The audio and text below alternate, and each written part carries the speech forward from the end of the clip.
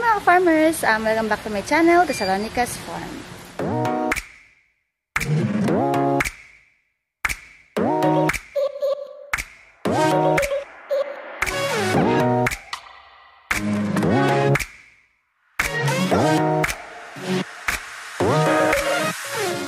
Hi mga farmers, um, travel vlog naman tayo ngayon dito sa video na ito dahil 4 years wedding anniversary namin ng aking asawa.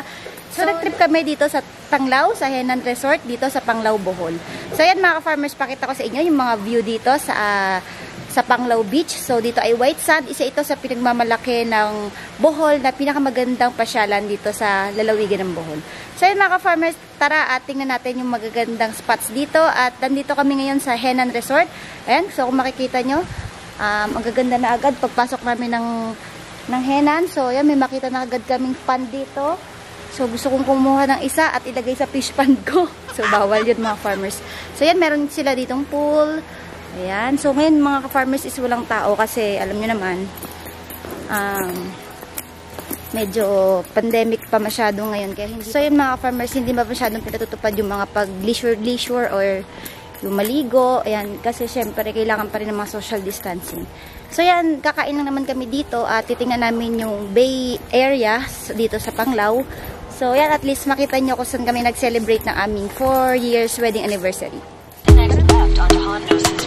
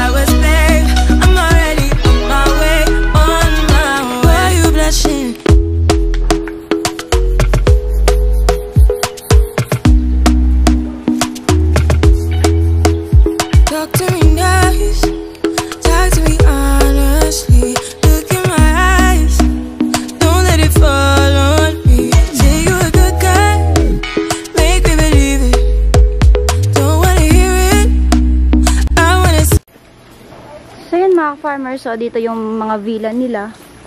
Ayan. So hindi na namin mga farmers tinanong, tinanong yung rate ng mga villa. Kasi hindi mo kami mag-check-in eh. Mag-ano lang kami. Manginain lang kami dito ng baka dinner. So yan, maganda dito kasi parang nakaka-relax yung ambience. So itong Ehenan mga farmers ay isa ito sa pinakamamahaling resort dito sa Panglao. Saan ba galing? Saan galing? Saan sinasabi? So, yan po mga farmers yung kadate ko. Yan siya. So, siya. Wala. Yan yung kadate ko mga farmers. Gala ng gala mag-isa. Naghanap ng chicks yan. So, yan. Mga villas nila. Ang ganda mga villas nila. Naghahanap kami ng daan papunta sa beach area. Kasi nawawala na yata kami. So yun mga ka-farmers. Ah, sige. So yun mga farmers, so nandito na kami sa beach. So yan sa beach ng Henan Resort. So ito white sand dito mga farmers. Yan. So ang fresh and refreshing ng, ng ang refreshing ng aray ko, tanawin ba? So yan, white sand. Yan. So tingnan natin mga farmers kung ano mga pwede natin gawin na activities dito kasi hindi man ako maliligo. Kasi parang isipan lang namin bigla dumaan dito. So, hindi naman ako maliligo. Hindi kami maliligo. So, yun, kakain kami. So, baka may mga so, baka may mga, baka may mga boat boat, ano baka may mga boat activities. Yun, mag, magsakay sa bangka. Yun, baka ganun may makita tayo dito. So, yan, perfect na perfect talaga dito. Mamasyal. So, twice na ako nakarating dito mga ka-farmers. So, last time, hindi naman ako nag-vlog pa nun. So, ngayon, eto, na-vlog ko na siya. So, isa talaga to sa favorite ko na place dito sa Bohol. Ang ganda ng mga farmers, so. Sana nakakapunta kayo lahat dito. So, lapit tayo sa beach. Yung. Ha? Dito lang kami yung, may puno ng... Oh, ito po ma'am, foot massage ma'am. Aron pagkaon man, kaon. Yan. Yung nagpamasahe yung asawa ko, ayun. Diyos ko. Ay, Diyos ko, Lord. So, tara puntahan natin mga farmers Nagpamasahe siya. So, may mga spa kasi dito sa tabi ng dagat. So, nagpamasahe siya ng katawan kasi laging nasakit yung likod niya eh. Kasi lagi siya naka-computer. Kasi, di ba, stock market trader siya. Nag-forex trading din. Laging tutok sa computer. So, dahil ganun na nga, medyo pagod siya sa pag-upo-upo kaya lagi naninigas yung dito niya. So yan, magpamassage. Tingnan natin mga farmers kung maganda magpamassage.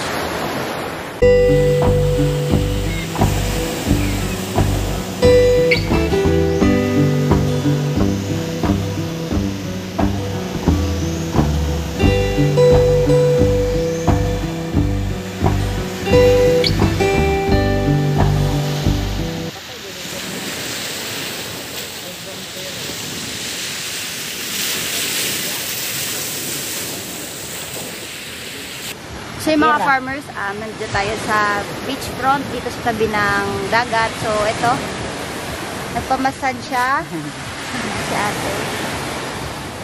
Um, 500 pesos, 1 hour yung ating massage dito. Yan. Po, maganda yung mga naghihilot dito kasi malalakas yung mga pulso nila dito. Yan. So, intay-intay ko na lang. kasi siya lang yung nananakit yung katawan, ako hindi. Yan. So, sarap ng ambience kasi habang namamassage ka, so nandito ka sa tabi ng dagat. Marinig yung mga alon, yan. So, refresh na, refreshing talaga yung pakiramdam pag nandito ka.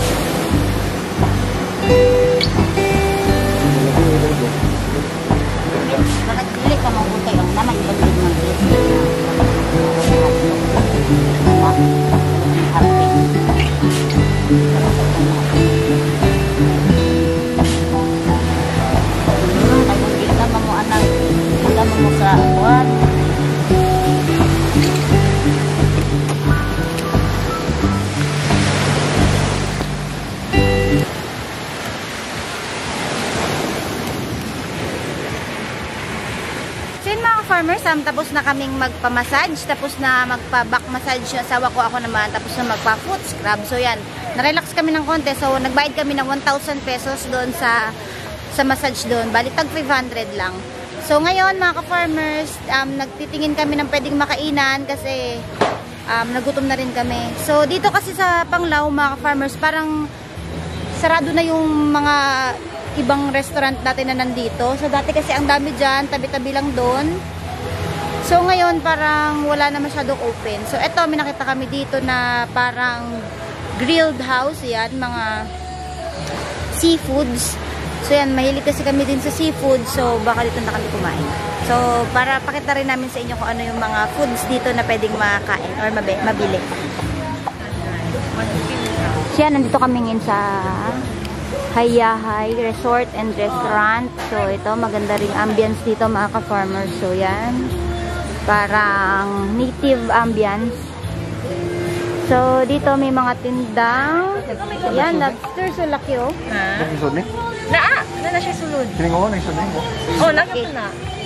So, yan, para magmukbang tayo dito ng seafoods. So, Or dapat meron din silang, ayun, Ah? Okay, sir. meron din silang, ano to ate? Ano to? Ano yan? Um, seashell. Seashell. Seashell. Dito. Tapos yan, si- ito, meron silang lato. Kung sa amin sa Cavite is lato to eh. Seaweeds. Kasi meron silang mga fish. Sumuto. Ano ba? Oh, tara, tara. Wala siya. Dili. Wala siya. Meron silang Ah. fish. Yan, may fish. Ah, pwede siya, sir. May, marami laman te? Kita rin. Marami laman yan. Baksa, baka. Oh, isa pala ka na. Tapos meron din silang yan, mga, mga lalaking sugpo. Ano ba ko lang? Sir, gusto luto din, sir. Mga lalaking Ano siya? Five sugpo. Tapos meron siyang squid. Then isda din. Tapos yun, doon, ano, alimasag. Tapos meron din, Tuna pa nga. Ay, na pa nga. meron din silang combo meals. Yan. Ay, sa, sa. Bili. Kasi, asa dahil uno doon eh. Bili pa nga. So, yung mga Bili. magtipid, yan. Meron silang Ano combo bang meals. sa'yo? Kahit ano ba? Pili dyan. Meron naman doon eh. Tapos dagdagan mo na. So, nag-order kami nito. Ano to? Lobster. Lobster. So, magkano yan? What's your name? 1,700 pesos. 200 per gram. Kita nung luto na. Kahit anong luto na, mga ka-farmer. So, 200 grams yung bigat niya. So, 1,700. So, ang mahal pala niya. Laki naman oh. Laki naman, mga ka-farmers. Para isang braso siya. Laki to. Yan. Kasi may lapit. Happy hour. Ay, ikaw bang gano'n na? Katanang sa bumbo, sir. So, yan mga ka-farmers. May mga nagtinda dito ng mani. Yan, yung mga bata. Tapos, may nagtinda rin sa amin kanina ng, mm, ng mangga. Ayan. Magkano ang mangga niya? 100. 100, yun, ganyan. Medyo mahal syempre dito mga farmers kasi ano, syempre pasyalan to. So yan yung mga mani, ayun.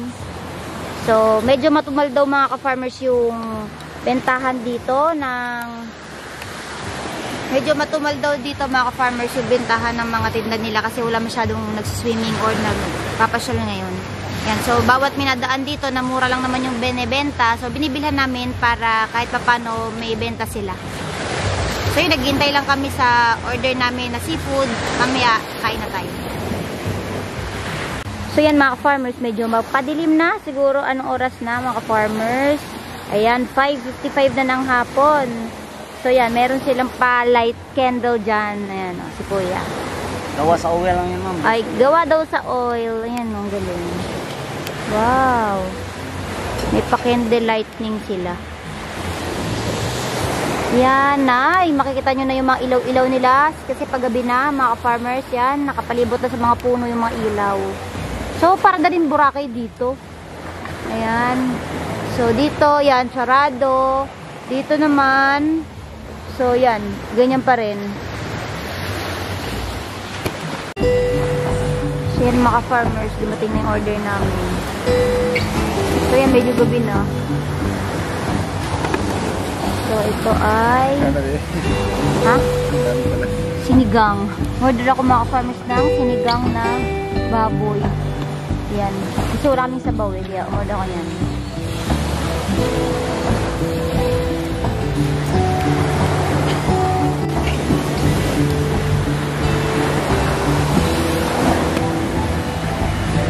So, yan yung order namin na lobster. Then, rice. Yan. Rice. Garlic rice. Gutom na gutom ako mga farmers. Wala pa akong almusal talaga. Yan. So, babanatan ko to lahat. So, ito yung, ano to? Tuna belly. Tuna belly. Daga? So, so yan mga ka-farmers, ito na yung ating mga pagkain. So, yan. Um, rice, tapos, ayun, yung ating oyster, ay, yung ating, ano ba to, lobster, laki. Luto yan mga farmers sa gar- garlic daw, garlic, butter garlic. So, yan, meron Sulit, tayong- sulit. may sinigang tayo, tapos yan, may pang, masarap. Batiin mo naman ako. Happy 4 years anniversary, my love. Iyon, nasasabi siya. Huwag ka na tumingin ng Chinay, ah. Okay. Ah, okay. Russia na lang. Rational. so yun, mga ka-farmers, kain muna kami. Ay, ang gaba! Ang sarap pala nito. First time ko lang, first time na ako makakain ito. Paano ba ito kainin? Kinukutsara lang? Pwede mo kamayin. Ay, ay, mga farmers, oh. Para siya ang alimasag ng lalaki na, hindi ka na mahirapan magtalok. Ang sarap! Ang sarap pati kanin. Sabaw. Ang sarap din ng sinigang. Sulit yung sinigang, ang dami. Sarap. Ito na in-order namin mga ka-farmers kasi hindi naman namin maubos kung madami. Pero ito, tuna, tuna pa nga. Tuna pa nga daw to. Belly. Ay, tuna belly. So, yan. Ang dami din. Tikman natin. Hmm, sarap. Parang ano, parang tu, para bang ano, Parang isda. isda. Hindi, parang, parang ano ba, parang mamahalin ang lasa. Mm. Sarap. Yung view, yung Sulit view. na, sulit yung ano natin. Ayan, yung view. Lobster. Dito, dito, dito. Sarap Ayan. kumain dito. Sana ganito araw-araw, hindi laging pagod. Oh, kain. Sarap. Mga farmers, sana nandito kayo para matikman nyo to. Ang sarap talaga. Mm, libre mo sila. Wala akong pera. Libre daw kayo, mga farmers. ah, wala. Bisita lang kayo dito sa Bohol. Ay, mga farmers, tingnan nyo. Tingnan nyo, tingnan nyo, tingnan nyo. Oh, ang laki oh. Parang ano, parang hipong urong na malaki. Oh. Hmm. Tirang ko si Baby Loves ko, baka maubusan. Ayun na.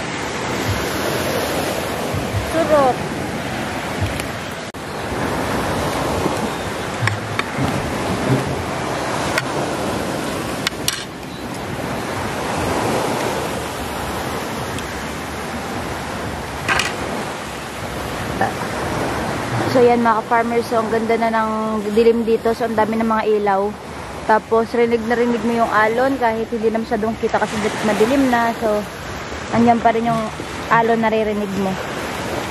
Yan. So perfect na perfect talaga dito kumain sa tabing dagat. Sana dito na lang kami nakatira sa tabing dagat.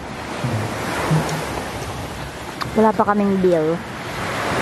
Nakain pa kami. So mga farmers, um, tapos na kami kumain. So yun, pinagbalatan na lang lahat na natira. So, mga 2,000 plus lang naman mga farmers yung nabiyaran namin dito dahil napama nagpamahal lang naman mga ka-farmers is yung lobster. So, yan mga farmers, sulit, sulit na sulit namin binayad namin at napakasarap naman talaga ng mga pagkain dito. So, yun mga ka-farmers, i pauwi na rin kami from here sa Panglao hanggang papuntang Trinidad. So, pakita ko sa inyo, meron ditong banda.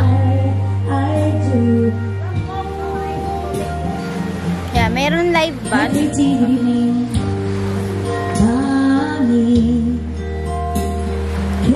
he tell that I can't breathe? And there he goes so perfectly. The kind of flawless I wish I could be. She that I'll hold him tight, giving Yan, mga farmers, may pa-live band din sila dito pag gabi. So, yan. Yan mga nakain, tabing dagat. Then, ganun din naman mga farmers doon banda. So, CCR muna ako bago kami umuwi. Tingnan natin CR. Minsan CR dito. So, yan, maki-CR muna tayo bago tayo umuwi. Saan na CR? Ah, dito. Naliligaw ako. Kasi medyo malayo pa yung ating biyahe mga farmers. Uh, two, two and a half hours din yung ating... Oh my God, ang ganda ng aso. Tingnan yung aso mga farmers. Ang ganda. Ay, cute. Parang bear. Parang black bear. So, ang ganda. Ang laki niya. Kag farmers kanina nung, tum nung tumayo siya. So, yung mga farmers, um, iihi muna ako. Tapos, uwi na kami. Yan. So yun mga farmers, thank you for watching this video mga farmers. Um, please like and subscribe to my YouTube channel mga farmers para, para updated kayo palagi sa ating mga ina-upload na video dito sa aking channel. Ayun mga farmers, um, maraming salamat sa panonood. Um, thank you for watching and happy farming! Bukas balik na tayo ulit sa farm.